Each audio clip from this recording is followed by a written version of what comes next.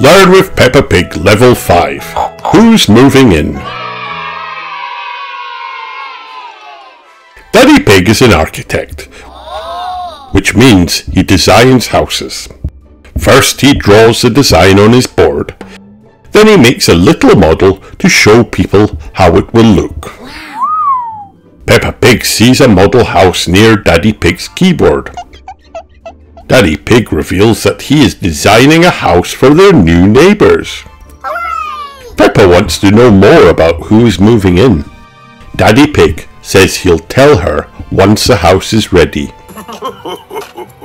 is this a cottage for fairies?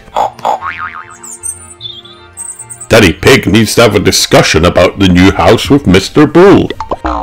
They look at pages of plans and measure the land. Then Daddy Pig spies a strange addition to his design. What's this symbol? Peppa smiles. It's a swing, Daddy. Every house needs one of those. Daddy Pig puts on a severe expression. Peppa, you must not interfere with my work. There is lots of action at the construction site. Mr. Bull's crew are busy digging the foundations for the house and pouring cement. Peppa is still bursting to know who will move in. Are they nice? Have they got any children? Digger. Daddy Pig chuckles. Be patient, Peppa. The mystery of the new neighbours makes Peppa feel more excited every day. Peppa and George love going to the construction site. Mr. Bull gives them permission to help so long as they obey his special instructions. This is a heavy weight. You must always pay attention to what you are doing. You don't want to break any bones. Every day, the house grows larger. Wow. And the walls climb higher. And every day, Peppa urges Daddy Pig to tell her who will live there. Sorry, Peppa, that's top secret information. Dinosaur! After eight weeks, the work is complete. Peppa thinks it looks like a very large mansion. Before the new people move in, Mr. Rabbit takes a tour around the house to judge their work. The house has passed my inspection. All the measurements are correct, and the walls are straight. Well done.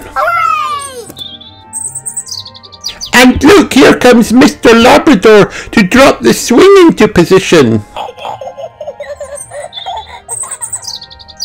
They wave the crew off, then Daddy Pig turns to Peppa and says, This house was not made of straw or sticks.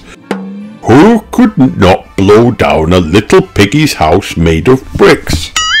Peppa scratches her forehead and thinks hard. I know, I know, a wolf!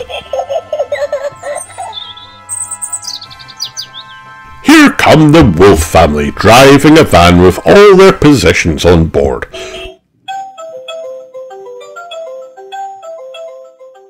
What a beautiful spacious house, cries Mrs. Wolf.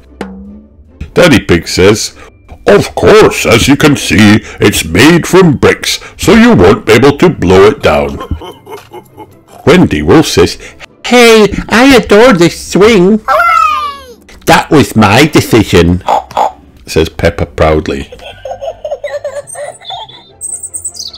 That is so thoughtful, cheers Wendy. Shall I push you and pull you? Peppa laughs with her new friend and replies, No, huff and puff me. The end.